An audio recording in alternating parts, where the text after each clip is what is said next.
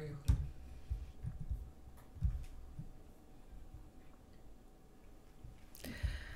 Всем привет! Это еженедельный четверговый стрим на вашем любимом канале «Мыр». Я Ольга Романова, Русь сидящая. И, как всегда, как всегда, Аля Григоренко с нами, главный редактор проекта «7 на 7. Горизонтальная Россия». И мы по вам соскучились. А, Мы не будем так долго уходить от вас. Так получилось. Ставьте, пожалуйста, лайки, подписывайтесь. И так нас станет больше. А, Вот название наше сегодняшнее «Кошки и молитвы», оно, конечно, станет яснее в процессе а, наших разговоров. Но я сразу вспомнила старую историю, которая мне ужасно нравится, такая полузабытая, как маленький мальчик ходил весь день за бабушкой, а, дергал ее за подол а, и говорил ей «молись и кайся, молись и кайся». И бабушка была в шоке, пока не пришли родители, выяснилось, что он хотел поставить мультик «Малыш и Карлсон». Э, Я думаю, что наши «Молись и кайся» э, сегодня будут все-таки более, более внятные. Ликвидация. Ликвидация всего, что уже вот не свобода, а не свободные медиа, не свободные мнения, а все, что вообще хоть как-то отдаленно напоминает свободу, все это вот на этой неделе концентрированно случилось. Не то, чтобы эта неделя была уникальной, просто все продолжается. Новая газета. Новая газета, все, лишили лицензии СМИ. Дмитрий Муратов прокомментировал это так. Умирать на войне можно, а читать независимые СМИ нельзя. У мемориала забрали его дом. Дом, известный э, всему миру. Э, Дом на Маяковке. Дом, где, в общем, выросло не одно поколение нормальных людей. Э, Забрали здание в пользу государства. Причем этот дом, вот эта часть дома была куплена за живые деньги в свое время.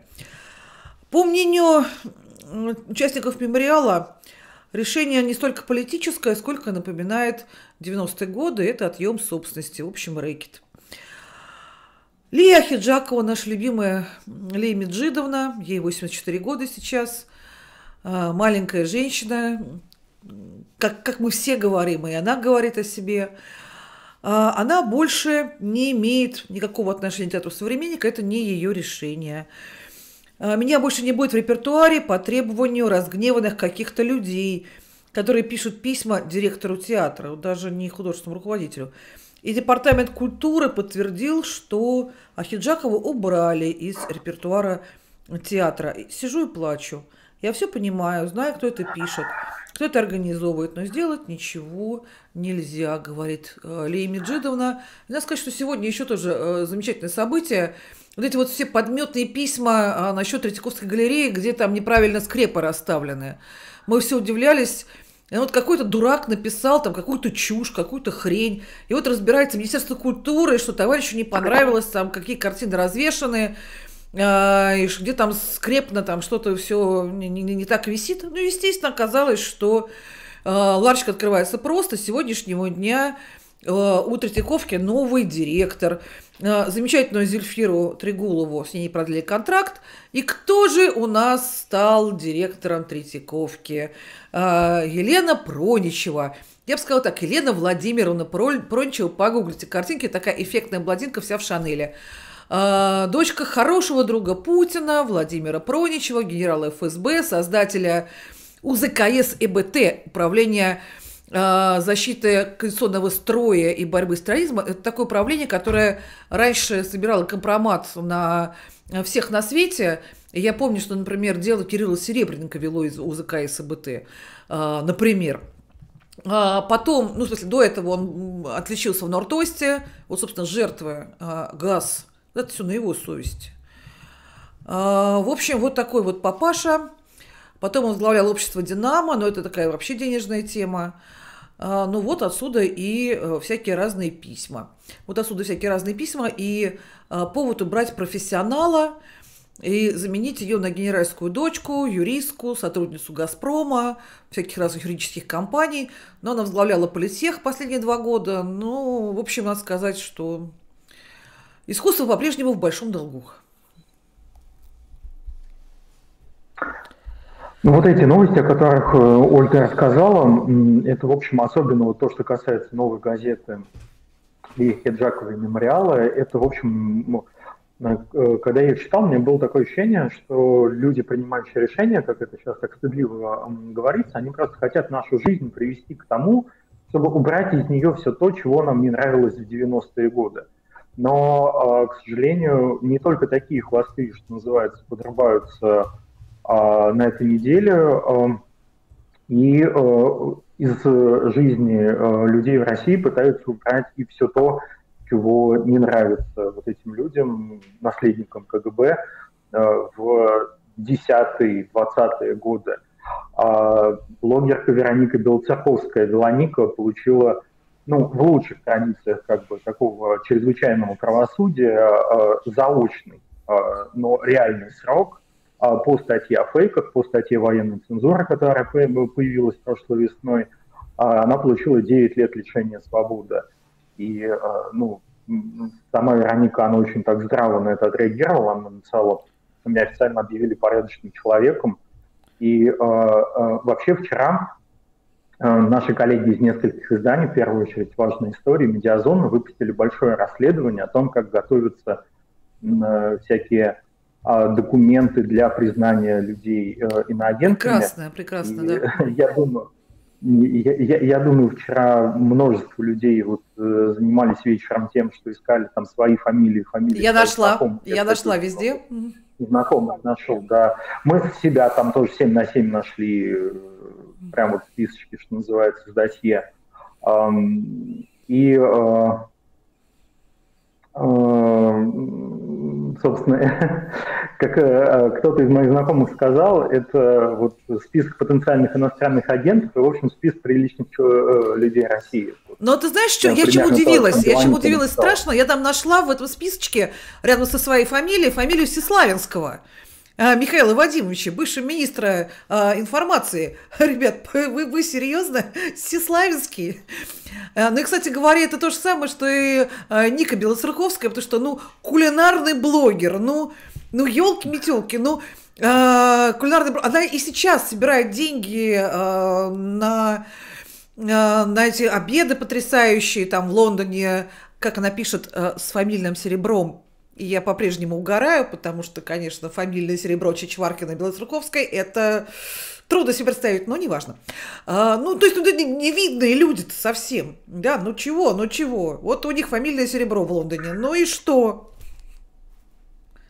А, вина Белоники, она же состоит, собственно, в том, что она э, прошлой весной называла войну войной, называла Бучу Бучей, и э, как Яшин. среди Теперь как Яшин. своего кулинарного блога она писала то, что она считает правдой, то, что мы все считаем правдой о войне в Украине. В этом ее вина. И э, я думаю, что не, не знаю, стоит ли за это сажать ее в тюрьму, точнее, я уверен, что за это никого нельзя сажать в тюрьму, но приличным человеком вполне можно назвать. Да, и, вот так э, это все и работает. человек, который попал списке иноагентов уже довольно давно. Это Артем Боженков, это тверской э, активист, координатор движения «Голос», э, и э, в отношении него было возбуждено первое э, в России уголовное дело о нарушении законодательства об иностранных агентах. Об этом сообщил правозащитник Павел Чиков.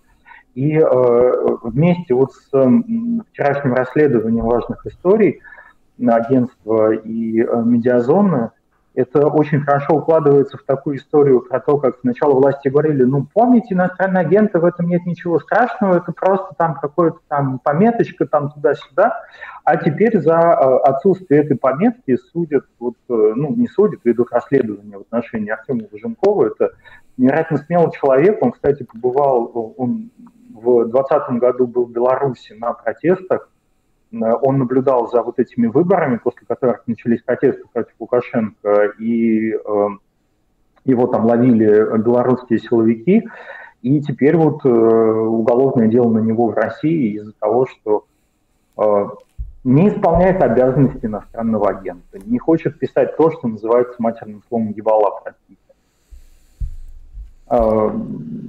И когда говорят, что вот это, это, это очень хороший показатель того вот, цены вот этих всех слов, которые произносят российские власти, говорят, ничего страшного, ничего, там, иностранный агент это просто пометка, нежелательная организация это просто, ну, чтобы люди были в курсе. Специальная операция это вовсе не война. Ну, вот, вот, она, эта цена, собственно, и есть. Вот список иностранных агентов в прошлую пятницу а, попали а, авторы книги «Лето в пионерском галстуке». А, которую ну, вот, э, изымают из, ну, наверное, уже изъяли из библиотек, из э, книжных магазинов. Вот. Самая популярная книга России прошлого года, и э, ее авторы Елена Прокушева и Екатерина Будко теперь иностранные агенты. И еще одно дело, на этой неделе оно подходит к концу, и завтра э, должен быть оглашен приговор бывшим губернатором Хабаровского края Сергею Фургалу. Это еще одна история про то, как а, что бывает с людьми, которые говорят нет, что бывает с людьми, которые пытаются делать собственную политику. Самое главное, это что бывает с людьми, за которых вступаются их избиратели, вступаются люди. Наверное, все помнят вот эти массовые митинги э, в Хабаровске, которые начались после того, как э, Фургала арестовали и отвезли в Москву. И мне кажется, что именно из-за того, что эти митинги были, из-за того, что до сих пор в Хабаровске остаются люди, которые готовы выходить за Фургала, даже не столько, наверное, за, Фургала, сколько за свой голос, за свое право выбирать на улицу, а прокуратура попросила э, ему 23 года колонии. Это максимально, по-моему, срок. А, Олег, но ведь это же смертный приговор. Ну мы что, это понимаем, что это смертный приговор. Эм, про такие приговоры сейчас принято говорить, что мы надеемся, что до конца срока он успеет выйти, сможет выйти из тюрьмы. Пока Путин жив, ППЖ, да. Это правда. Ну и, собственно, я напомню, что смертный приговор... Я уверена, кстати говоря, что мораторий на смертную казнь в этом году будет отменен в России. Я уверена совершенно. А, мне очень понравилось, как-то раз я видела комментарий чудесный в Твиттере. А, женщина пишет женщ, женским ником такая. Сколько в мире жестокости, сколько в мире зла, сколько несправедливости. Пора вернуть смертную казнь. А, ну и надо сказать, что смертную казнь обещают еще и уехавшим критиканам, да, там депутаты Госдумы развернули на этой неделе большую борьбу с поноуехавшими. И там создадут рабочую экспертную группу, которая разрабатывает, как положено, комплекс мэр по наказанию уехавших страны россиян.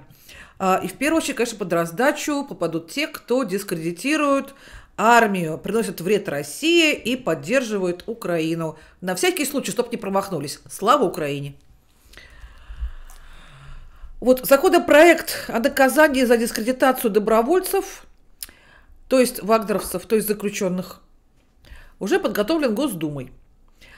Ответственность будет э, распространяться на создателей фейков у добровольцев. Кто такие эти добровольцы ЧВК «Вагнер»? Да, это заключенные. То есть нельзя будет рассказывать, э, что этот новый герой, где висит мемориальная табличка, вот пионеры, э, дают ему честь и все такое, что он э, убил собственную бабушку за квартирные деньги, что другой собственными руками забил свою мать, Третий убил судью. Это я все просто вот реальные дела рассказываю. Но это все рассказать будет нельзя.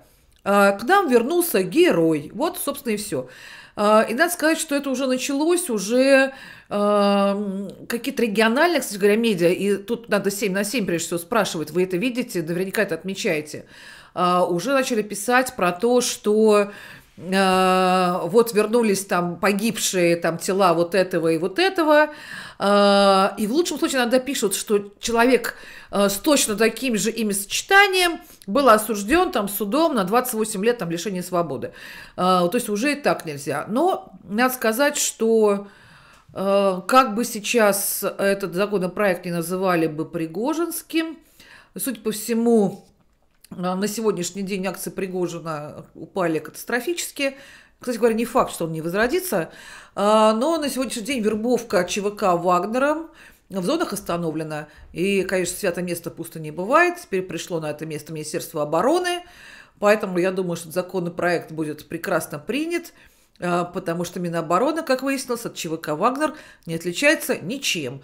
а, кроме того, что обещает, что внесудебных казней не будет. Ну, такое а-та-та, да, вот не будет.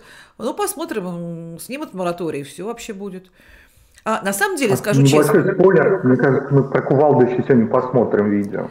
Посмотрим. Но я хочу сказать вот маленькую штучку, э, чтобы не забыть, э, собственно, из-за чего погорел Пригожин.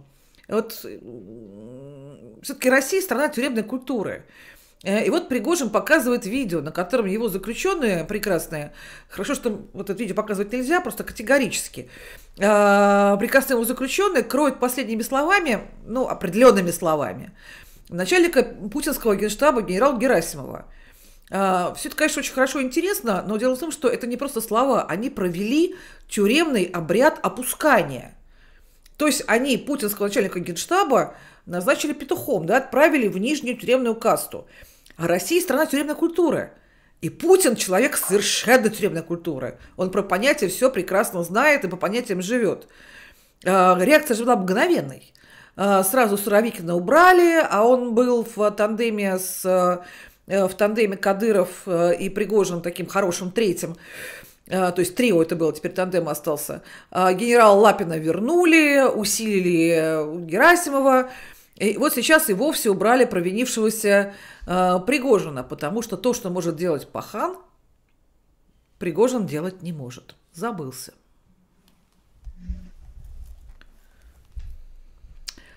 Такие дела. Ну, э, в последнее время появились новости о том, что заключенные уже начинают понимать, что лучше из тюрьмы выходить как бы э, не, не вместе с Пригожиным, потому что э, потери вот этих в тюремных таких, в этих рабских частях очень да. высокие. 80% и, да, потери.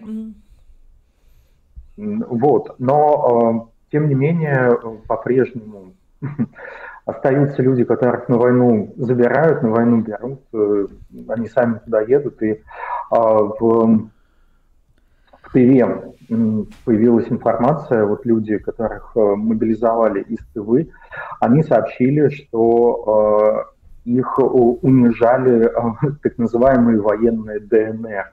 Они говорили, что они стреляли в нас куда ни попадя, заставляли делать отжимания под дулами автоматов и говорили нам, что мы отсюда живыми не уйдем, и что мы относимся к ДНР, сказали, мобилизованные. Но вот здесь эти люди, они тоже попали в такое рабство, потому что, опять же, как это принято в нашем государстве, у нас все делается, как у нас Путин говорит, по закону, но на самом деле там не поставили тебе одну печать, и ты никто. Эти несчастные э, они оказались никем, и более того, им даже начали говорить, что они не русские, неполноценные и так далее. И вообще на войну ходить не надо в принципе. Это и люди, которые оказались на войне там, по своей воле или не по своей воле, они все рискуют стать военными преступниками.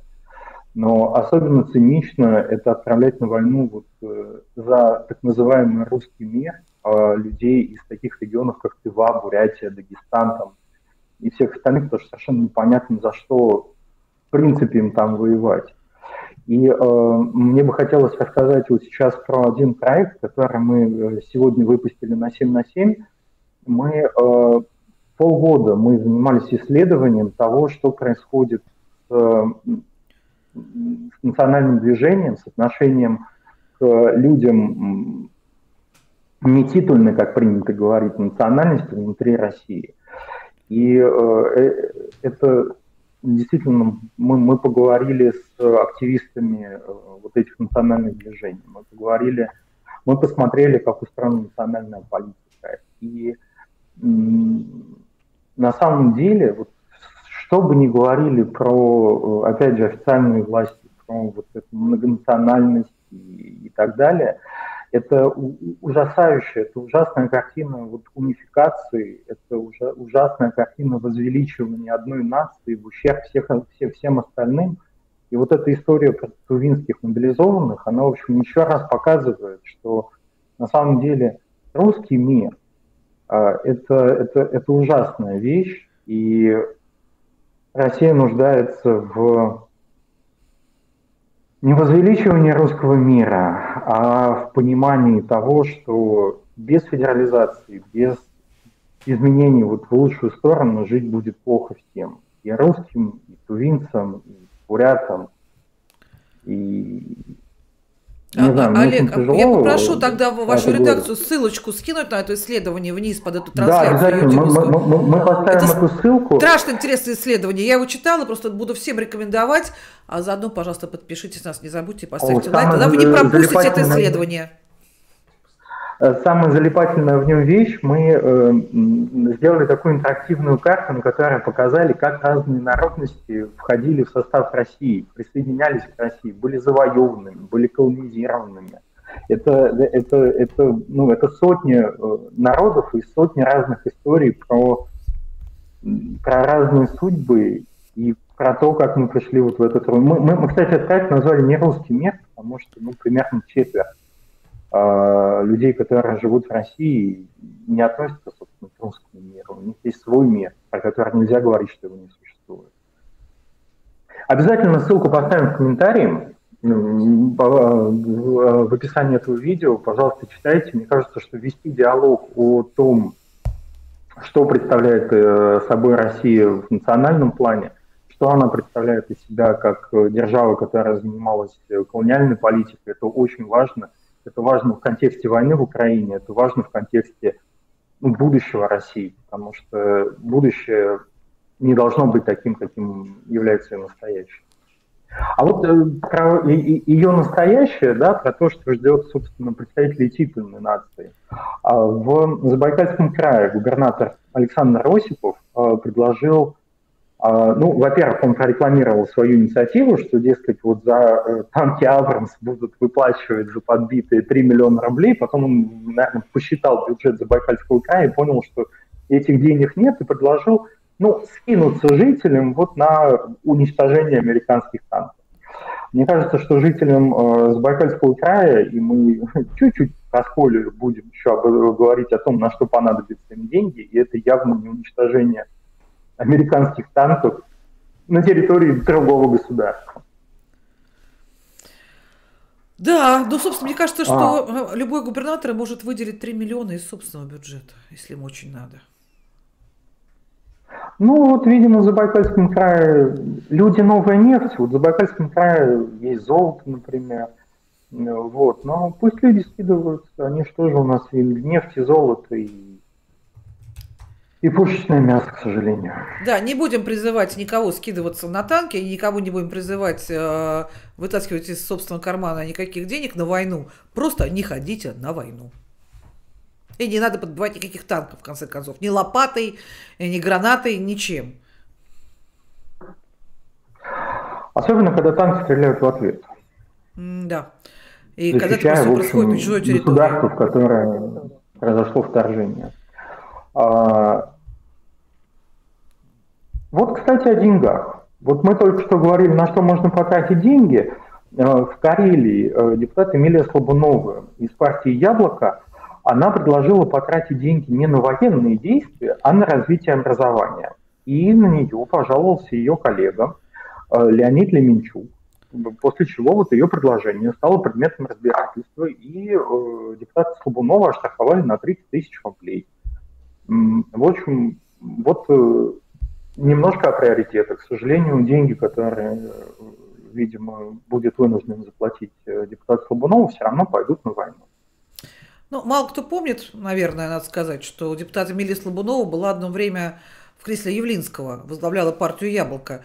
Потому что тогда было модно э, в те времена, ротация была не только у Путина с Медведевым, но и у Явлинского со Слабуновой. Так что, между прочим, не просто так, а глава парламентской партии тогда. Но, тем не менее, вот продолжу про штрафы. История, которую вы, начало которую вы знаете, все знаете, уж точно она такая громкая была, а вот концовочка, она на самом деле еще смешнее. Она еще смешнее про то, как можно получить штраф э, за штраф, но это я уже немножко спойлерю. А, вот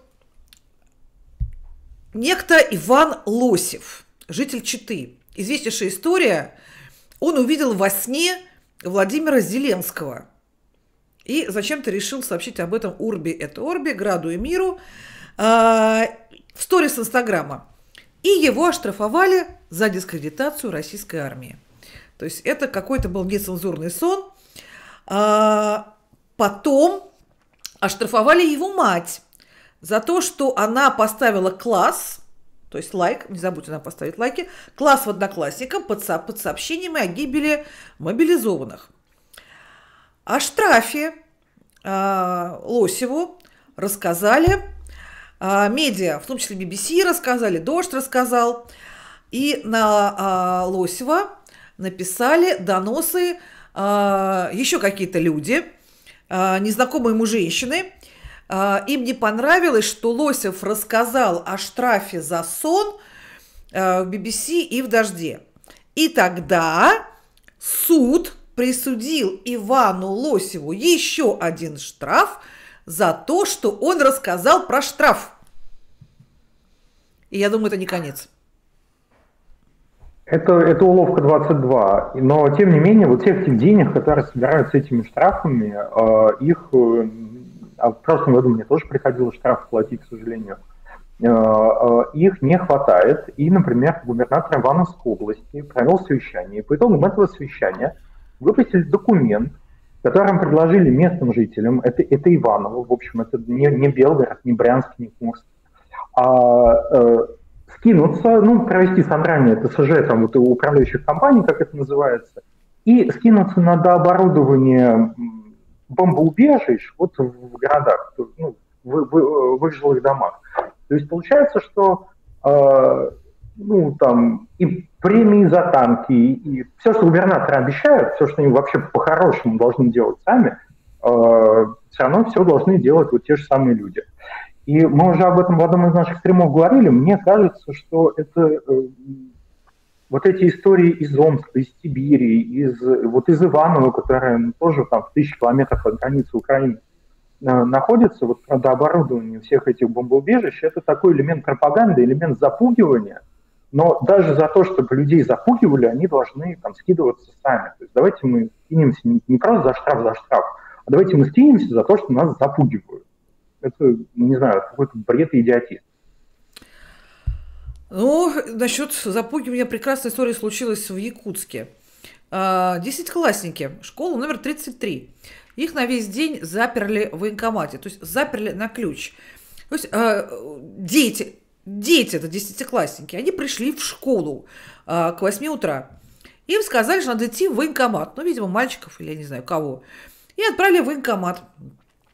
А, и должна была быть комиссия с 9 до 12 часов. Ну, обычная военкоматская комиссия. Так, по расписанию в военкомате. А, но, но главного врача не оказалось на месте. Она ушла по каким-то своим делам. Вот главврач ушла. И чтобы школьники, видимо, не разбежались, их просто закрыли на ключ в военкомате всех. А, и держали таким образом до пяти вечера, пока главврач не вернулась, видимо, сделав все свои дела. А, с, то есть в 8 утра дети пришли в школу, и до 5 вечера они сидели запертыми в военкомате без воды, без туалета, без возможности сходить в магазин, купить себе бутерброд. А, а если пожар, там, я не знаю, то они просто заперты. А, и ну и все. И я думаю, что военкомат остался доволен, что они не разбежались. А, с детства приучают, что разбегаться не надо. На войну ходить ну, не надо. Как, наверное, вот, э, то, их, наверное, приучают к такому послушанию, чтобы они, как вот э, мобилизованные в Макеевке, они тоже же, они не должны были расходиться в новогоднюю ночь из своего ну общежития, чтобы посмотреть, там, не знаю, обращение Путина тот момент, когда по этому общежитию ударили ракеты, и там огромное количество людей погибло. Ну вот, кстати, о женах и матерях э, погибших чудесный способ реабилитации нашли в Пензе. А, вдов и матерей погибших в Пензе реабилитируют а, с помощью кошек, а, не только кошек, кошки, молитвы и мастер-класс по макияжу. А, на первом собрании в дом пришел священник, прочитал Акафист «Слава Богу за все», женщинам подарили Святое Евангелие, провели психологический тренинг и мастер-класс от косметической компании. То есть собрали еще и заодно немножко, немножко рекламы. А, и рассказали о лечении при помощи контакта с кошками. То есть погладьте кошечку, и все у вас пройдет. А, такие встречи с родственниками погибших организовали по проекту «Благодарю за службу». Гладьте кошечек. А, после мобилизации власти и общественники начали придумывать самые разные программы, чтобы успокоить родственников. Например, белгородские чиновники. Вот они придумали обязать, обязать учителей и школьников, а, и учителей школьных психологов, да. Цитата. «Ненавязчиво и незаметно поддерживать учеников, чьи отцы не вернулись с фронта». А вот это как? Вот мероприятие. Судя потому да? что а там есть фраза «школьный психолог» и «обязали», это будет очень вот ненавязчиво и незаметно, самое главное, незаметно для всех остальных. Особенно незаметно, наверное, будут отчеты вот об этой работе. Я думаю, да. А, вообще в этом году э, мы в январе на 7 на 7 выпустили текст, мы посмотрели на президентские гранты, э, которые э, в 2023 году будут выделены. А вообще президентский грант это был не самое плохое изобретение там, э, в России, и очень часто, ну довольно часто, в 10, даже в десятые годы они доставались не самым плохим инициативам. Это и поддержки бездомных, и э, там, приюты зоозащиты, на, на те же самые национальные мероприятия, там некоторые из них все-таки были более или менее адекватными. Вот э, в 2023 году э, вот фонд президентских грантов он заплатит 4, ну, почти 4,5 миллиарда рублей, 4,3 миллиарда рублей, и большая часть вот этих инициатив, э, самых ярких, э, это вот всякая такая поддержка людей, так или иначе связанных с войной. Э, проект «Вяжем нашим» на мастер-класс повестки на проект «Вяжем нашим» Вяжем РФ наших. 400... Нет, «Вяжем нашим .рф». Да, вот так вот. Получил а, ну, почти полмиллиона рублей на мастер-классы по вязке, вязке носков для участников военных действий. И там есть вот KPI, больше 190 э, женщин, бабушек и ветеранов из Москвы должны связать полторы тысячи носков. В описании, кстати, там они Суворова приводят, держи голову в держи живот в голоде, а ноги в тепле. Слушай, вот каждый, каждая бабушка должна связать больше 100, 100 пар носков, что ли? Я тут... Получается, ну, за год, да. Это, это мастер Это по три пары в день. По три пары в день должна. Нет, по три пары, да, в день. Нет, нет, нет, нет, нет, а, нет, а носки за три это, дня. Одна пара за три дня. Да. дня. да, за три дня. За три дня. А... Да. А, э, Проект а... «Ждем, надеемся, любим» получит 3,5 миллиона рублей на бытовую помощь женам и матерям солдат. Э, фонд планирует содействовать ремонте жилья, обслуживанию автотранспорта, покусе травы и полки дров. Мы в конце прошлого года очень много таких инициатив показывали. Помните, самая яркая инициатива была про доставку, вот когда лед вырубали из... Э, да, да, да, в Якутске. Реки. Да. да, потому что в домах вот у, у этих женщин нет питьевой воды. А, вот. А, и вот все эти огромные деньги, они пойдут на вещи, связанные с войной, хотя есть один мега простой способ а, как бы пустить их на более хорошее. Это прекратить воевать, вывести войска из Украины, прекратить бомбить чужие города, прекратить вывозить детей, которым нужна помощь, да, теперь в России нужна помощь э, с территории Украины. И в этом отношении очень показательная новость Э, ну, вот совсем недавно пришла, на что еще можно было бы потратить эти деньги, если бы не было войны, если бы год назад э, Путин и Российская Федерация не развязали вот эту полномасштабную агрессию. А, я, я сегодня вот открываю, я обычно в самом Фейсбуке открываю а, воспоминания за прошлые годы. Вот два года назад, в феврале 2021 года, у меня была запись о том, что появился шикарный абсолютно проект всенаука.ру. Это такой огромный электронный архив научных книг, и бесплатная. То есть любой желающий мог любую научную книгу по антропологии, по социологии, по, по экономике, это научно-популярные книги, они в магазинах, они стоят там сотни, там даже тысячи рублей, а вот их можно было с этого сайта скачать бесплатно. Это была очень классная инициатива, на которую э, люди скидывались через краудфандинговый сервис, planeta.ru, по-моему. И сейчас он закрывается. Закрывается он, с одной стороны, из-за того, что очень многие правообладатели э, Запада э, ну, отказались э, продлевать действие вот, э, интеллектуальных прав на этот контент. А с другой стороны, государство и такие прогосударственные компании типа Яндекса, они прекратили финансировать э, тоже этот проект со своей стороны. И мне кажется, что вот э, такой просветительский проект это намного лучшее применение денег, чем, чем война. И чем помощь людям, которые пострадали из-за войны. Но чем Может больше будет просвещения... Из войны и заняться просвещением, я не знаю. Чем больше будут просвещенных людей, тем меньше будет желания идти на войну. И тем меньше э, вероятность войн. И что, пусть он дурак, что ли? Зачем просвещение сеять? Вот в Перском крае, что ну, там предлагают? Мы... Делать танки ну, из подручных материалов. посмотрим. Да, да, танки из подручных материалов. Вот э, так, такое прекрасное объявление. И, кстати, прекрасное слово, ну, прекрасная картинка, которая демонстрирует, ну, во-первых, что людей, у которых проблемы с просвещением, легко позвать на а, производство танков из говна и палок, простите, вот, а и вот последствия отсутствия просвещения – это грамматические ошибки. Не знаю, а. видели вы или нет, это прекрасно девчонок. Девчонки через «ё». Девчонки через «ё». Не делайте так. Да. Не пишите никогда девчонки через «ё». Девчонки очень обижаются. Девчонки вам отомстят. Не надо писать девчонки через «ё». А, еще немножко. Просвещение, Девчонки, просвещением занялись, конечно, ветераны ФСИН. Ветераны ФСИН, вертухаи, конечно, должны заняться просвещением. А, стихи и песни. А, на машине свастика, за рулем укроп.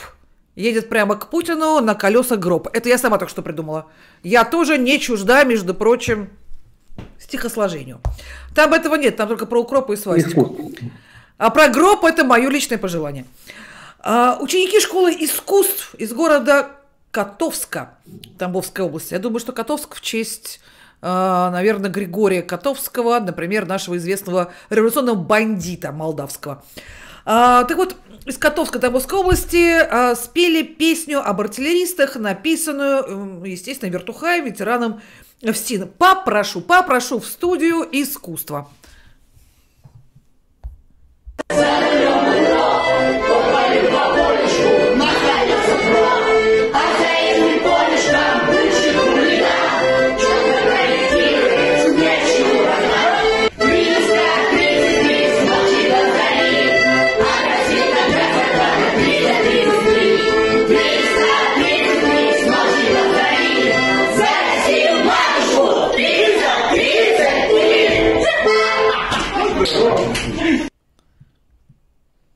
За Россию матушку такой глухари. Ну, не, ну, все что угодно можно. Детей жалко. Детей жалко. Ну, жалко детей. И э, вот такие новости у нас в редакции, они проходят так вот. Ну, мы, правда, мы очень устали уже все такие новости э, читать и смотреть такие видео. Мы их называем там словом кринжатиной ужасаемся, но и за это детей, кстати, а, скоро заставят платить, потому что в школе номер 47 Ростов-на-Дону детей начали собирать деньги за участие в патриотическом мероприятии. Уроки живой истории о победе в Сталинградской битве. Стоимость участия составила 100 рублей, явка обязательно. А, ну, в общем, вот так вот. Поставили им расписание, сказали, платите, платите, а кто не заплатит, тот прогульщик. А, и самое интересное, вот журналисты местного издания «Блокнот Ростов», они попытались выяснить, а, собственно, за что эти, ну, как за что платить эти деньги, кому они пойдут, там, не знаю, может, ветерану пригласят, там, деньги какие-то заплатят, но, как выяснилось, э, непонятно, никто не смог им объяснить, собственно, куда деньги за урок живой истории, на что они будут потрачены. Но есть и хорошие новости. Мне кажется, речь идет о саботаже, причем таком утонченном, знаете, месье знает толк в саботаже. А, в женской консультации из Китима, это Новосибирская область, повесили агитацию Министерства обороны о военной службе по контракту. А, покажите, пожалуйста, нам фотографии, какие чудесные, какой чудесная агитация. При этом в Новосибирске это женская консультация. Туда запретили вход мужчинам. Прям официально. Запретили сопровождать посетителей женской консультации под предлогом принятия дополнительных мер по антитеррористической защищенности на основании указа губернатора Андрея Травникова. То есть это вот, вот эта вот агитация висит для глубоко беременных женщин. Я надеюсь, что действительно месье знает толк в саботаже. Что бы это ни значило. И мне очень хочется верить, что женщины, которые ждут ребенка, они посмотрят на эту агитацию и сделают правильные выводы, что у ребенка должен быть вообще-то отец. И этому отцу про этот плакат рассказывают совершенно не Это что за мизогиния? У ребенка должен быть родитель. У ребенка должна быть мать или отец, или две матери, два отца. Я вам тут из Берлина хочу сказать, что, что, что это за... Э, у ребенка должна быть, должен быть отец. Ты, ты знаешь ли? Я, Таких отцов может Я быть музей. мнение, что у ребенка лучше будет родитель один и родитель два, чем родитель 200. Совершенно верно. Или родитель дебил, который размахивает флагом и поет про фашистскую свастику и укроп. Ой, девочки, э, не, не давайте вертухаем, а? Не надо. Такие, такие песни потом будут сочинять. Да, извините, пожалуйста. Вырвалась, вырвалась, наболела, накипела. Ну, вот на, на то, куда э, русские мужчины э, девают свою энергию, можно посмотреть на, на одном видео из Воронежской области. Это вот глава одного из районов Воронежской области Павел Чибисов. А он такую вот, э, не знаю, проводит рекламу здорового образа жизни, но при этом, э, ну, я не знаю, мне очень хочется верить, что он просто не понимает контекста которым он машет кувалдой. Давайте посмотрим это. Давайте видео. посмотрим, с удовольствием. Всем мира, добра и радости. Поехали.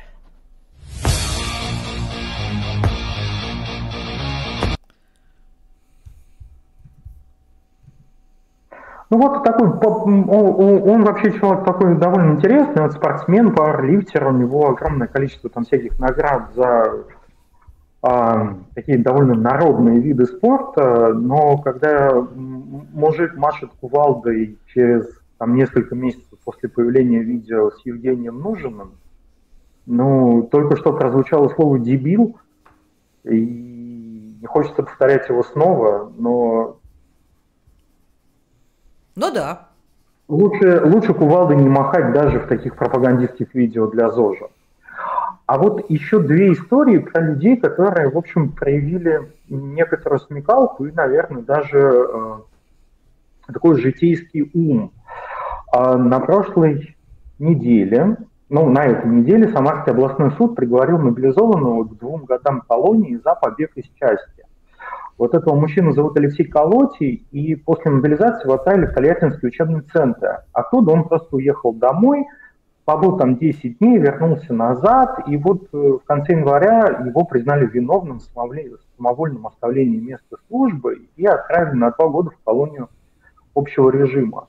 Я надеюсь, во-первых, что в, колонию, в эту колонию общего режима не приедут ни представители ЧВК «Вагнер», ни представители Минобороны, а во-вторых, это прекрасный способ выжить за эти два года, а не оказаться в Макеевке или в окопе под Бахмутом, откуда, в общем, вернуться не так уж много э, шансов. А вторая история, она произошла, собственно, ну, она тоже произошла осенью, и она еще более такая великолепная, она произошла с э, представителем, ну, с мужчиной из Липецка, э, в октябре, э, ну, в конце сентября его мобилизовали, отправили во Владимирскую область, город Тавров, и, и в общем-то, он немножко там подустал от военной службы, и перелез через забор и отправился в гриль-бар «Славянка». И там он провел почти не знаю, там, я боюсь ошибиться, но почти, ну, больше недели, по-моему, дней 10 он там провел, он там ел, спал. А пил, кто бы не провел неделю в гриль-баре «Славянка» города Кавров? Ну, в общем-то, а он бы там прожил и дольше, но встретился с другими такими же мобилизованными, которые тоже немножко подустали, и там они начали нарушать общественный порядок, их отправили в военную комендатуру, и вот его там тоже приговорили, но его приговорили вообще к колонии поселению, что опять же по сравнению с окопами в Бахмуте, ну, курорт, мне кажется. На будущей неделе у нас выйдет большое интервью с украинским солдатом, который 10 месяцев а, был на передовой. На самом деле он рассказывал очень страшные вещи. У него и видео много, любезно поделился с нами из своего телефона. А, кстати говоря, подпишитесь на канал, чтобы это видео уж точно не пропустить. Это просто, это, это будет великое видео. А, это вот он рассказывает про атаки, и он говорит, что обычно было так, что вот все сидят там по траншеям, по окопам, и вдруг видят, что поднимаются, идут 3-4 бойца, но это заключенные, это ЧВК «Вагнер». Они идут вот без всего, идут в полный рост, и они идут, они понимают, что они идут на, на смерть. Или, может быть, он говорит, ему сказали, что вон там за бугорочком, вот туда иди, вот там, там, не знаю, свои. А, и они идут. И, ну, конечно, рано или поздно там начинают стрелять. А, это, конечно, смертники. И, собственно, они идут с целью с собой обнаружить огневую точку – чтобы по ним начали стрелять, и тогда начнется атака, и будет понятно, где украинская огневая точка. Вы хотите так умереть, будучи живой мишенью? Вот это даже меньше, чем жестяной заяц в тире, да? Это вот ваша драгоценная жизнь вот так, чтобы обнаружить огневую точку противника. И, судя по всему, у них нет выбора. У них нет выбора вернуться назад, будет то же самое. Или им говорят, я не знаю, что если вот так погибнешь, то тогда, я не знаю, медаль дадим и умрешь как человек. Не знаю, не знаю. Вот на следующую рубрику пометили э, редакторы как «не война», а я не вижу в ней «не войны», я вижу в ней опять войну. А, телеграм-канал «Москва» против мобилизации. А, вот какую историю рассказывает, не Москва. Прилетел недавно в Иркутск. А на границе пограничники анкетируют тех, кто уезжал после объявления мобилизации. Спрашивают отношение к специальной военной операции и так далее. Вопросы такие. Как перемещались за границей? От перехода границы и дальше. Теряли ли документы? Испытывали ли трудности? Выходили ли на связь представители иностранных спецслужб, ведомств или общественных организаций? Слушайте, не дай бог встретите фонд защиты природы за границей, бегите. Как относятся к спецоперации? Где кем работаете, кто начальник? Военнообязанные, стоите на учете. С нашего рейса анкетировали троих. Все вроде нормально прошли. Ну вот, редактор, вы говорите не про войну. А про что?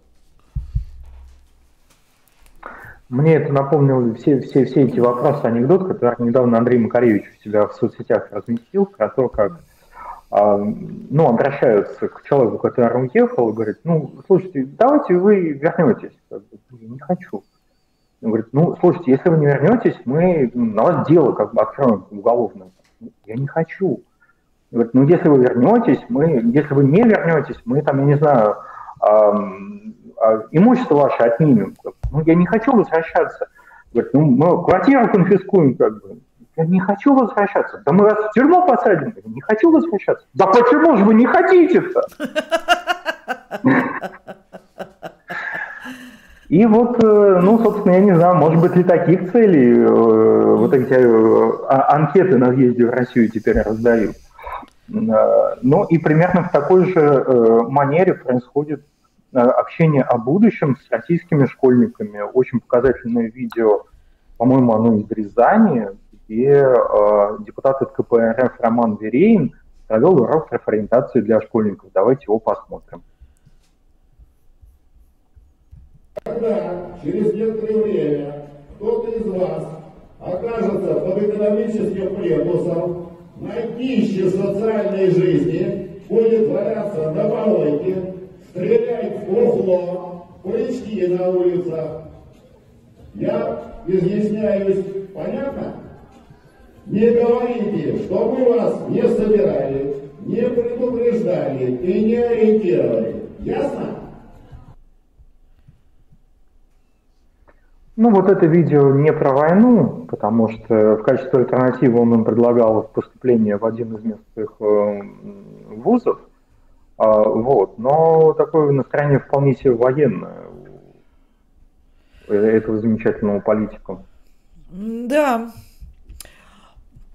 Слушай, а я все-таки хочу сказать про хорошее, про военное все-таки. Я больше не могу это слышать про возвращение Сталина, про этот Сталинград, про закрытие проектов. Давайте я сразу хорошее скажу. Хотя, как сказать, Украина смогла вернуть 128 детей, которых принудительно вывезли в Россию. Я хочу сказать, что на самом деле установлены имена почти 14 тысяч. Там 13 990, там 13 990, не помню дальше. Вот эти дети, вывезенные в Россию, их в Украине знают по именам. А есть еще дети, которых не знают по именам. А, здесь огромная проблема с а, детьми, которым какого-то фига вывезли в Россию. А, так вот, 128 детей смогли вернуть. Инструменты дипломатии не работают, сказала начальница Украинского департамента защиты интересов детей. Требования международного гуманитарного права на агрессора не действуют, единого механизма не существует, типовые правила не работают. Ну и поэтому а, поэтому, как договариваются, никто не знает. И я-то занимаюсь вот обменом гражданских украинских.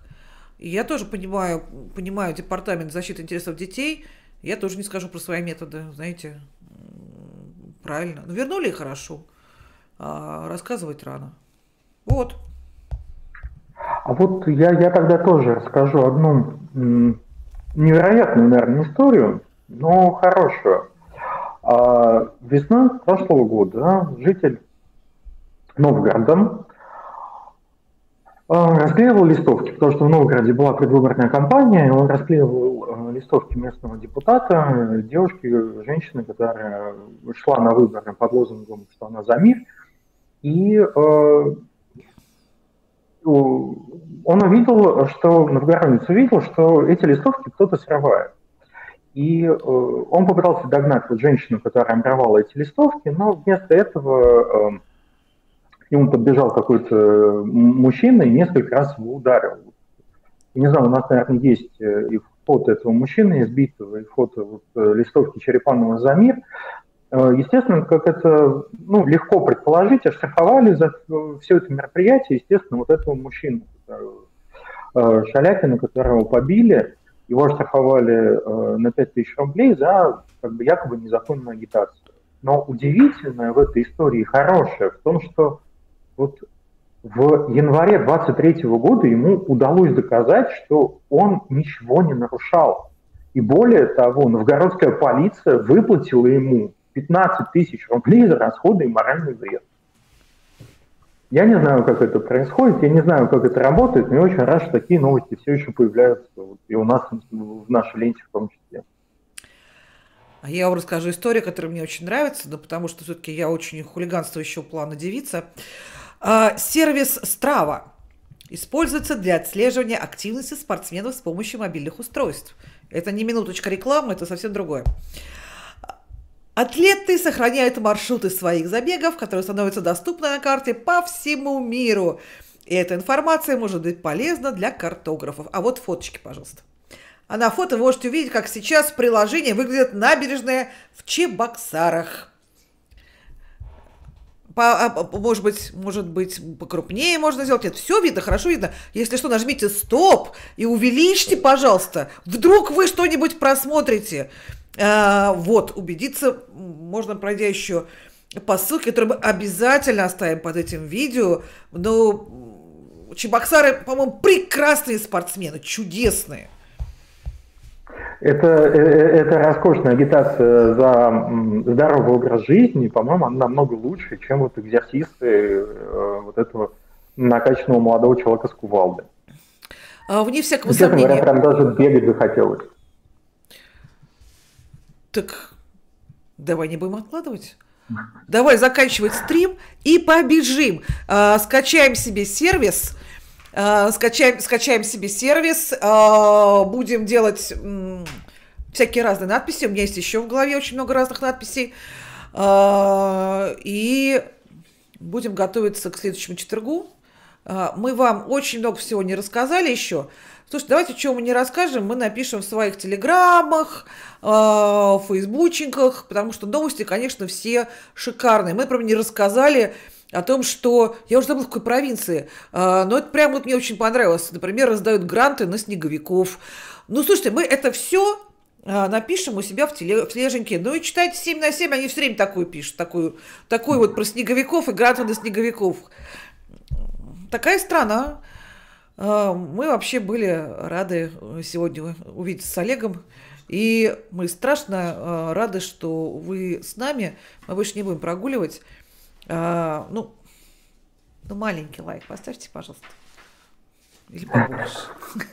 Да, спасибо большое, Ольга. Я тоже очень рад наших зрителей увидеть после Нового года, после такого длинного перерыва. Честно говоря, очень соскучился по нашим так какой такой Новый год, когда а, это был? Ставьте лайки, Оставляйте комментарии, рассказывайте свои э, истории, э, читайте 7 на 7, смотрите э, этот канал. Мыр. И до следующего четверга. Мыру, мыр.